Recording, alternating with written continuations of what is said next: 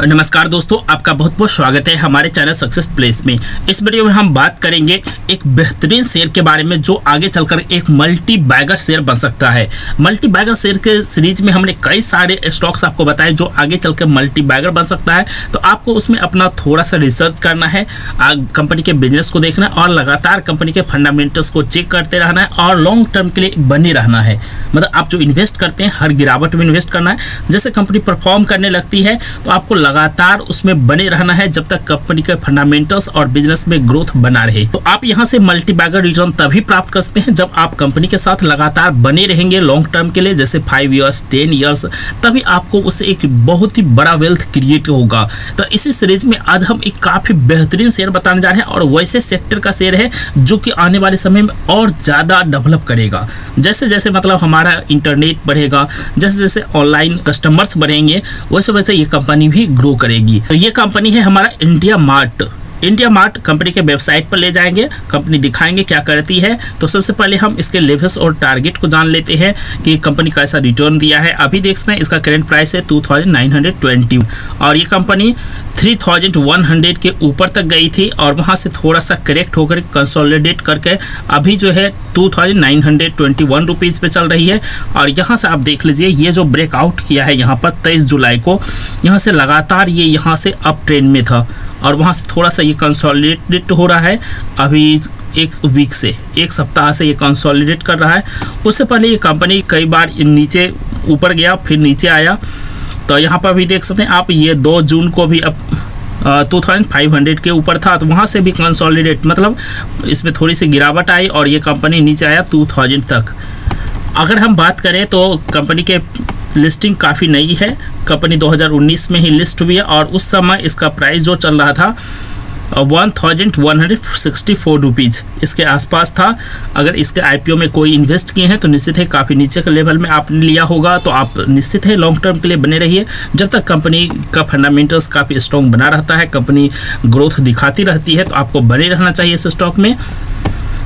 और ये कंपनी काफ़ी मतलब अप ट्रेंड में था। लेकिन जो हमारा पैंडमिक आया है कोरोना वायरस का पैंडमिक उसने कंपनी में काफ़ी ज़्यादा गिरावट देखने मिला। मतलब काफ़ी ज़्यादा कंपनी के शेयर के प्राइस गिरावट लाया और ये कंपनी वन थाउज़ेंड तक आ चुका था। और वहाँ से फिर से ये कंपनी अपने प्राइस को काफ़ी ज़्यादा रिकवर कर चुकी है और काफ़ी ज़्यादा मोमेंटम दिखा चुकी है। तो आप इससे समझ गए होंगे कि जब इसमें पैंडमिक में हमारा निफ्टी जो है सेवेंटी फाइव हंड्रेड के आसपास था तो ये जो स्टॉक्स था, वो 1700 के आसपास था।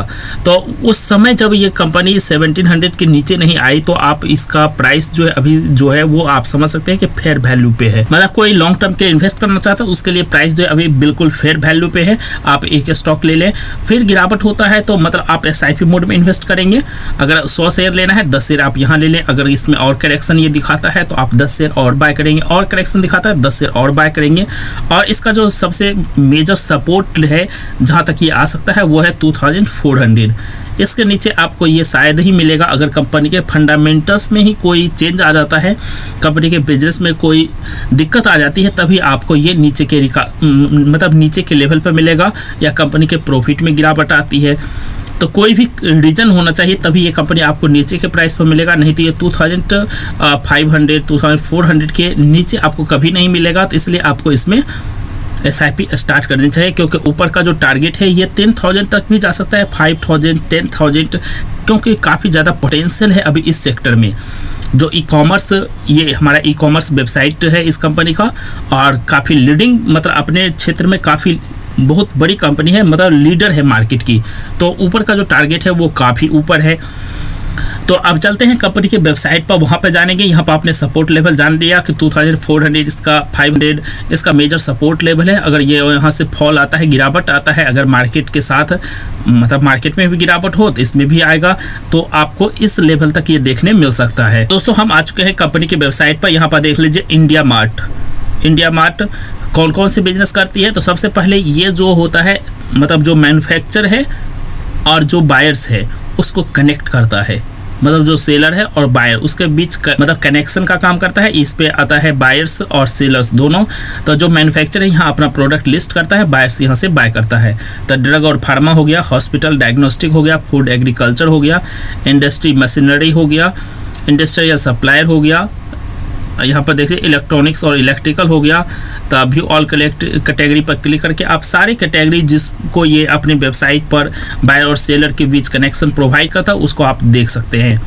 यहाँ पर हम नीचे आते हैं तो देख लीजिए, यहाँ पर सारा मतलब सेक्टर्स यहाँ पर दिया हुआ है। ड्रग्स एंड फार्मा तो यहाँ पर दीजिए कॉमन डिज़ीज़ मेडिसिन जो भी मेडिसिन वो होगा, आयुर्वेदिक हर्बल तो यहाँ पर हॉस्पिटल डायग्नोस्टिक यहाँ से food and beverage industrial plant machinery यहाँ पर देख लीजिए इंडस्ट्रियल सप्लाइज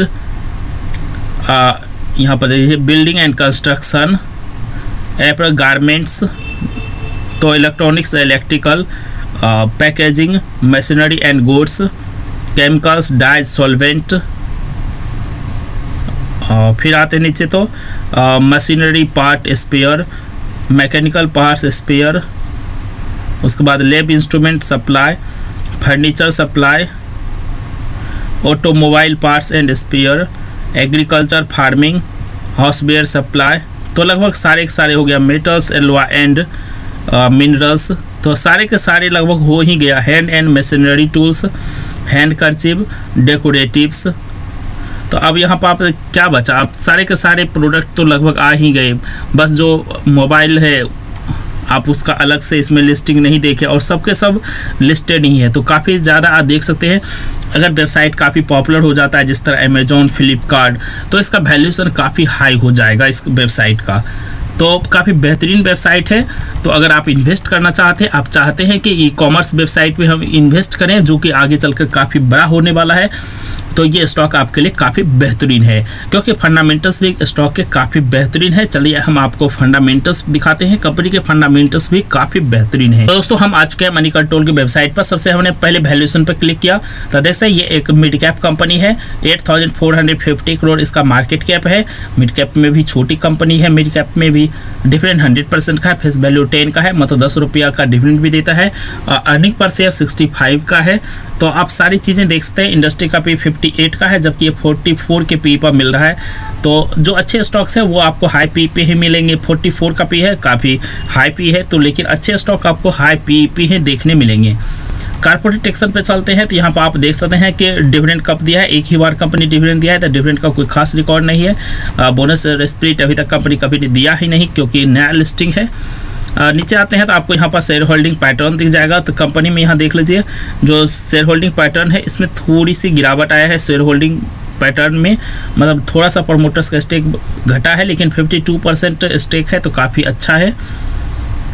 तो शेयर होल्डिंग पैटर्न आपने देख लिया ठीक ठाक है। एफ़ आई डी आईज जो भी यहाँ पर देखना है म्यूचुअल फंड कितना इसमें स्टेक रखता है, सारा चीज़ आप देख सकते हैं। फिर हम चलते हैं फाइनेंशियल पर। फाइनेंशियल कंपनी का देख लेते हैं तो जून क्वार्टर में कंपनी का जो सेल्स है 153 करोड़ जो कि quarter on quarter basis increase किया है लेकिन क्वार्टर ऑन क्वार्टर बेसिस थोड़ा सा डिक्रीज हुआ। Year on year basis increase हुआ है। लेकिन प्रॉफिट देख लीजिए काफ़ी जंप हुआ है quarter on quarter basis year on year basis तो प्रॉफिट में काफ़ी जंप है।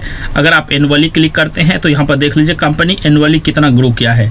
आ, मार्च ट्वेंटी में काफ़ी ज़्यादा कंपनी का प्रॉफिट हुआ है। तो पीछे देख सकते हैं लगातार कंपनी ग्रो हुई है जो कि आपको शेयर होल्डिंग पैटर्न से भी रिफ्लेक्ट होता है।